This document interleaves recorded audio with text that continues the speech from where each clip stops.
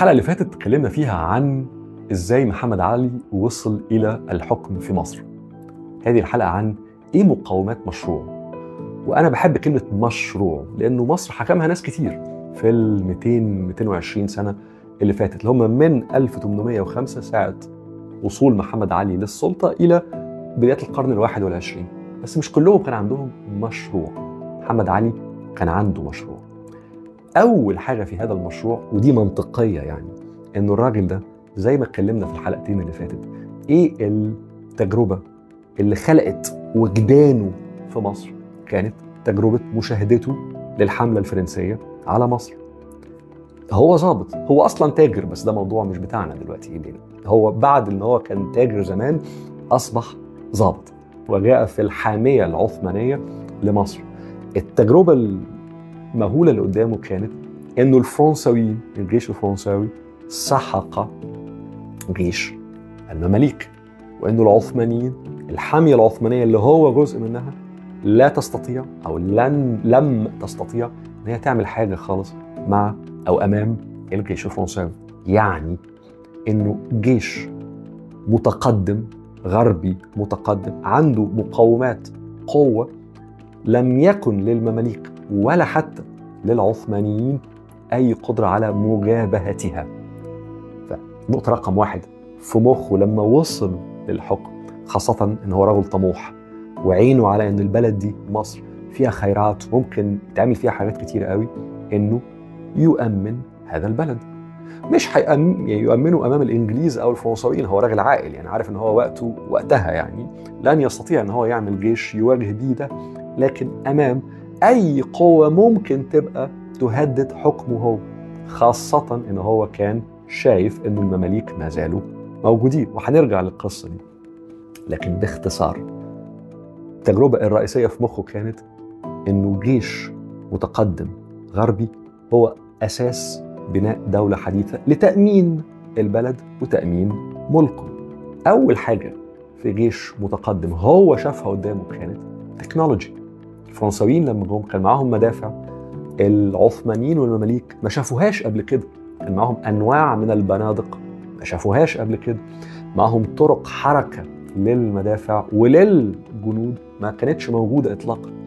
فكان سهل نسبيا على محمد علي إن هو يقول alright في technology أنا أستطيع إني أستوردها أشتريها من أوروبا من فرنسا من إيطاليا وإيطاليا وقتها كانت دولة ما فيش فيها صناعة قوي لكن طبعا أكثر تقدما كثيرا من الشرق لكن كان عندها وقتها مشاكل.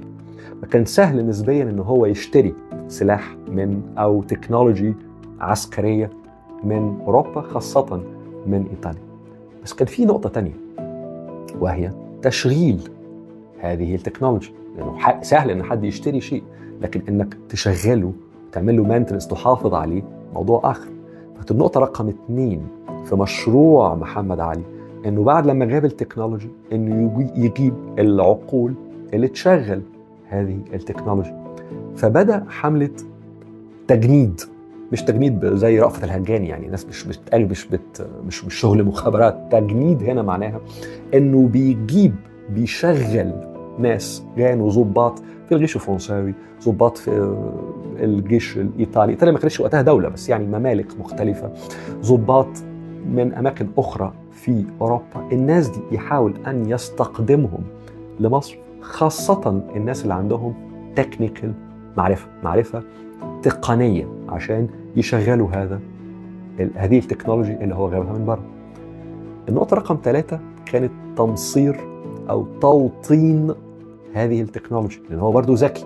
هو عارف أو شايف إنه هذه ال technology مش هيعرف يشتريها على طول ومحتاجة موارد اقتصادية كتيرة قوي فهو كان عارف وبالذات لو عاوز يبني دولة متقدمة إنه هذه التكنولوجي يجب إن هي تصنع في مصر. فبدأ إن هو يبتدي يجيب علماء ومهندسين وظباط تقنيين يبنوا هذه الصناعة. مش بس إن هم يشغلوها. فدي كمان كانت حملة تشغيل أو تجنيد أو استقدام ظباط ومهندسين وعلماء ومعرفش إيه عشان يوطن هذه الصناعات في مصر. وعلى فكرة لغاية النهارده في قرى في دلتا النيل متسمية بأسامي زي إتاي البارود مثلا متسمية بأسامي زي مصنع البارود أو يعني حاجات اتعملت من 250 سنة لكي يتم توطين هذه الصناعة في مصر. مرة ثانية هذه الصناعة بشكل رئيسي هي صناعة عسكرية صناعة بتحاول تبني جيش متقدم حديث في مصر. النقطة نمرة أربعة كانت البنية التحتية بتاعة الجيش. يعني مش بس في ضباط جابهم عشان يديروا هذه ال ال التكنولوجي اللي هو جابها مش بس ناس تقنيين يبنوا مصانع لكن هو كان محتاج مثلا يبقى في أطباء لأن هو شاف. إنه الجيش الفرنساوي كان فيه ناس بت بتخدم زي ما بيقولوا على الجيش مستشفيات ممرضين آه، ناس بتوع كيمياء أطباء مرة تانية. فبدأ إن هو يستقدم علماء يستقدم أطباء من أوروبا وبرضه لغاية النهارده الناس اللي غاوية يعني. مثلا شوارع في وسط القاهرة زي شارع كلود بي متسمي على ضباط علماء أو ضباط أطباء. جم وبدوا إن هم مش يعني مش إن إحنا كرمناهم يعني فسمينا الشارع باسمهم لا. لكن وقتها من 200 سنة مع اتساع القاهرة وبناء هذه المستشفيات أو المصنع الفلاني فبقى المكان متسمي على اسم الراجل اللي عمله زي شارع كلوب بيك اللي هو عامله ظابط دكتور. فالجزء مش فاكر الثالث أو الرابع من مشروع بناء جيش حديث في مصر كان بناء الخدمات. اللي حول هذا الجيش اللي كان أهمها الطب والتمريض وغيرها يعني. بدأ يبقى فيه حاجة أخرى وهي التنظيم. محمد علي شاف إنه أسلوب الإدارة بتاع الجيش الفرنساوي مختلف اختلاف جذري عن أسلوب الإدارة اللي كان موجود أيام المماليك اللي ما كانش أصلا عندهم أسلوب إدارة يعني. الموضوع كان سبهللة قوي. وزي ما اتكلمنا من حلقتين ثلاثة كان تكاد تكون للأسف يعني ميليشيات صغيرة كده كل واحد قاعد ينهب. من أراضي مصر ويطلع منها خيرات اقتصادية وخلاص. حتى الجيش العثماني وقتها نهايات القرن ال 18 بدايات القرن ال 19 كان بعيد كل البعد في التنظيم بتاعه عن تنظيم الجيوش الأوروبية المتقدمة زي الجيش الفرنساوي. فمحمد علي نقطة نمرة أربعة أو خمسة إنه بدأ يستقدم ناس يبقوا مش بس ضباط محترفين لكن ناس يبنوا هيكل إداري للجيش اللي هو بيبنيه. دي يعني دي مهمة قوي كمان لأنها دي بداية فكرة ال civil service زي ما بيقولوا فكرة الهيكل الإداري في الدولة المصرية لم يكن موجودا قبل ذلك. الحاجة الوحيدة اللي كانت موجودة قبل كده اللي هي الريبورتنج لإسطنبول يعني الوالي العثماني اللي اتكلمنا عليها من حلقتين ثلاثة والناس اللي حواليه كانوا بيجمعوا ضرائب معينة يثبتوا هذه الضرائب في ورق أو في ويبعتوها لاسطنبول فده كان فيه حاجات بتتكتب بس بدائية جدا مقارنة بنظام جد بيخدم جيش حديث اللي هو بدأ يحطه محمد علي اللي هو تطور فيما بعد أن أصبح البيروقراطية الإدارية. وكلمة بيروقراطية كلمة مش وحشة أحيانا. إحنا بنظن إن هي معناها روتين لكن هي بيروقراسي يعني الهيكل التنفيذي للدولة. بدايته في مصر كانت مع بداية عمل الجيش المصري تحت محمد علي. النقطة خمسة أو ستة الزراعة. عشان تعمل جيش حديث كان لابد إن هذا الجيش يبقى عنده خطوط إمداد معتمد عليها. خطوط إمداد جد. مش إنه مجموعة ميليشيات زي أيام المماليك يروحوا قرى ومراكز في دلتا النيل أو شمال الصعيد يخشوا على الفلاحين ياخدوا الناتج الزراعي والحيوانات عشان تذبح ويبقى ده أكل الجيش. لا لازم يكون في إمداد جد قوات ونظم إمداد ومخازن. فبدأ يبقى فيه اهتمام بحاجتين. إيه الأرض الزراعية في مصر بتطلعه؟ واثنين إزاي تزرع هذه الأرض؟ فبدأ يبقى فيه إدخال محاصيل جديدة. في الأول كانت المحاصيل محاصيل أكل لكن بعد شوية بقت محاصيل تجيب فلوس. إيه أهم محصول أدخل بعد ذلك عشان يجيب فلوس؟ القطن. مصر ما كانش فيها قطن قبل ذلك. فإدخال القطن حقيقي ما حصلش في عهد محمد علي بالذات لكن بداية الفكرة تنظيم الزراعة في مصر عشان تخدم خطوط إمداد جد للجيش المصري تعمل زراعة حديثة حصلت في هذه اللحظة بدايات القرن ال 19 اللي هي أدت فيما بعد لإدخال برودكتس إدخال محاصيل زراعية جديدة. كان فيما بعد أهمها القطن اللي هو أصبح عماد الاقتصاد المصري لعقود طويلة. بتطور الزراعه في مصر إيه الشيء المهم قوي؟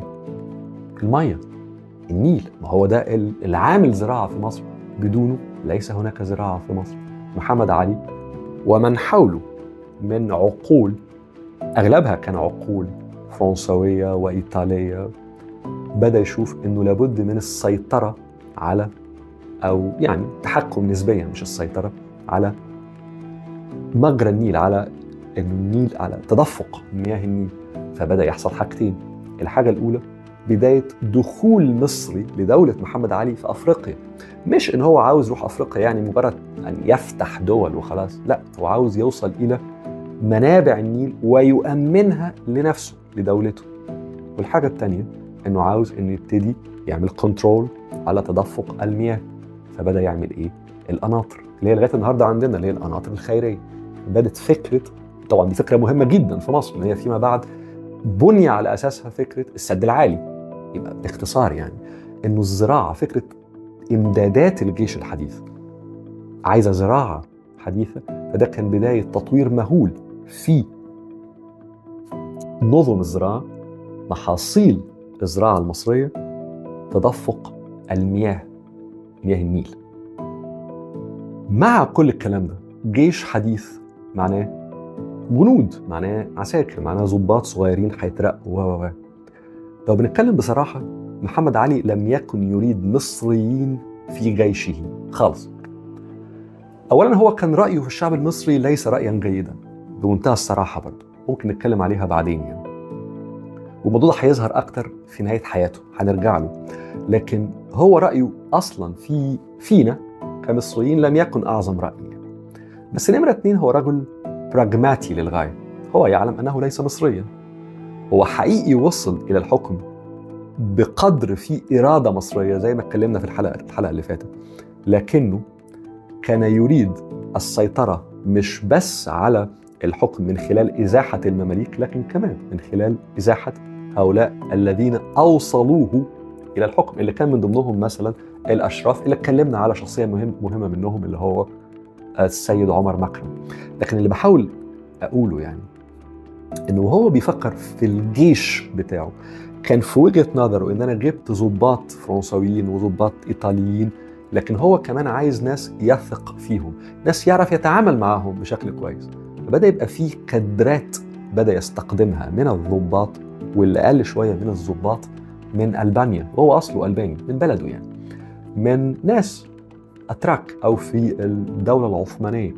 والدولة العثمانية اللي هو يعرفها هو الوجدان بتاعه وجدان عثماني. مرة تانية هو جه هنا كظابط عثماني. فبقى هو حقيقي عمل الليدرشيب القيادات أغلبها أوروبية. لكن الناس اللي هو كان عايزهم يبقوا العمود الفقري للجيش اللي هو بيبنيه كان من جنسيات هو يأتمن لها ينتمي وجدانه إليها ولذلك بقى فيه ضباط شركس ضباط جايين من دول القوقاز ألبان أتراك طبعا. دول بدوا يبقوا هم بدايات الضباط بتوع جيش محمد علي. في التجنيد هو كان عنده فكرة وطبقها بعد ذلك إلى حد بعيد كمان ابنه إبراهيم باشا وده هنتكلم عنه بتوسع في الحلقة الجاية. لكن الفكرة كانت إنه لو إحنا عايزين عساكر ممكن نجيبهم من السودان. ولذلك كان واحد من اهتمامات محمد علي في فتح السودان هو استقدام عدد مش قليل من العساكر من هناك. مرة تانية إنهم مش مصريين. وطبعا هنا في الفرق تسد إلى حد ما إن هو بيسيطر على مصر. ومش عايز إن يبقى العساكر مصريين لأنه هو مش مصري فعاوز يأمن لهذا البلد ويسيطر عليه. ده غير إنه الغالبية الساحقة من المصريين وقتها كانوا فلاحين بيزرعوا الأرض.